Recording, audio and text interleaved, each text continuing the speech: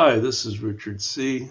I'm a math student here at Wyzant, answering a question submitted by a student. This is a classic uh, question from calculus.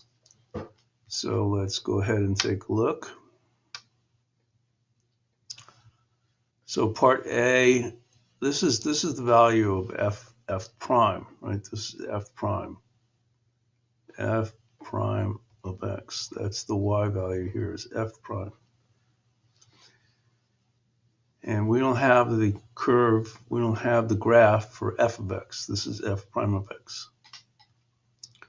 Now, f of x, the original f of x, is increasing wherever the first derivative is positive, because wherever the first derivative is positive, the function is increasing because the slope is positive.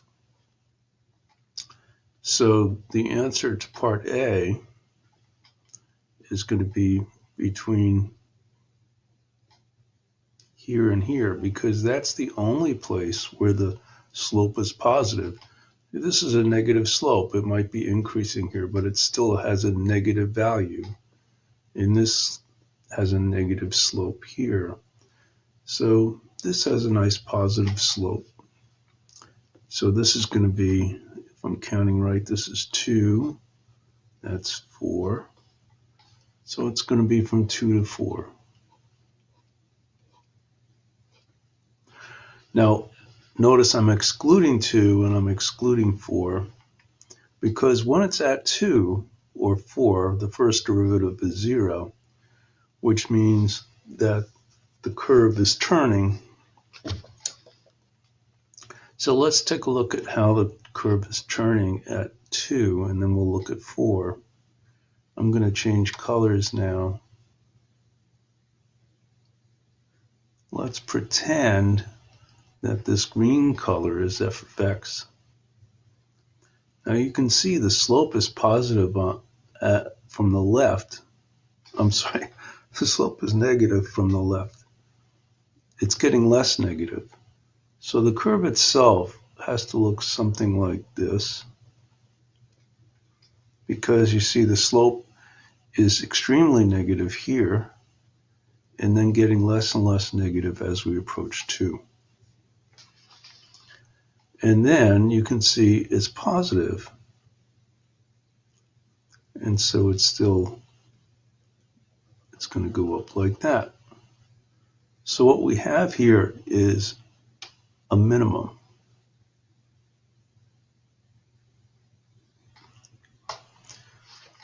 And I think if you think about this for a while, you'll see that it makes sense. Maybe in school you've learned about concave up and concave down.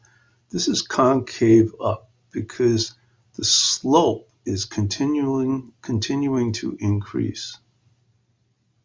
The slope is increasing, it's becoming less negative and then more positive. And you can see here it's becoming less negative. The negative value is decreasing, getting smaller in size, and then it's becoming positive.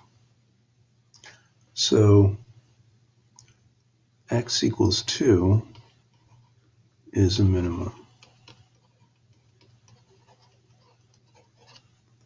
All right, now let's change colors again. We'll do some blue.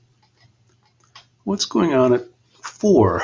Well, we know the slope is positive, but it's getting less positive. So you can think of the curve kind of doing something like this. And at 4, the slope is 0. And then you see how the slope is getting more and more negative? So the curve is dropping down. So we call this concave downward because the slope is decreasing throughout this blue section.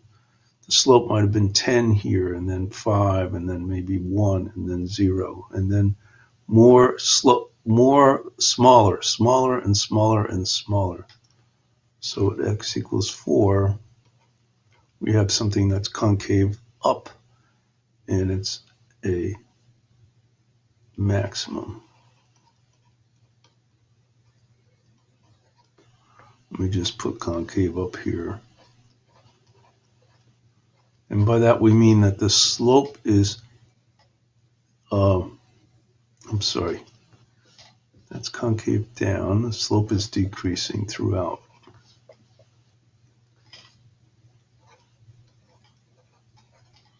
And going back up here to the green,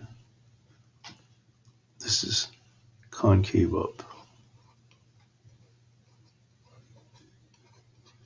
Meaning that the slope is increasing. Here the slope might have been negative 10, negative 5, negative 3, 0, then 3, then 5, then 10. You see the slope is increasing throughout.